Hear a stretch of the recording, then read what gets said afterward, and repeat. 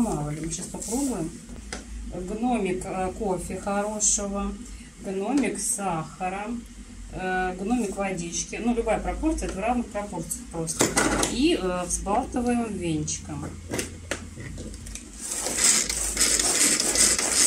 Тоже получился крем. Да. Да. Сейчас я покажу. Я хочу показать. Ну, во-первых, видно, да, что он такой густоватый. Так, ладно. Он даже не стекает по венчику. Я хочу показать пеночку. Вообще. А?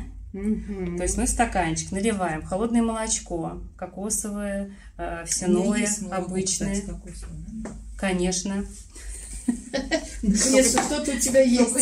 Помидорки нет, Дальше, чесночка Танюш, нету, у нас нет. есть лед, мы кладем лед и кладем, вот это очень шикарно. А ты что-нибудь сфоткает, будет вообще класс. Наверх молочка, Капучино. Ну ладно, тесто снизу, да? Ой, мы сейчас так в стеклянном блюдечке сделаем рефлографию, чтобы прям вы прочувствовали холодочек.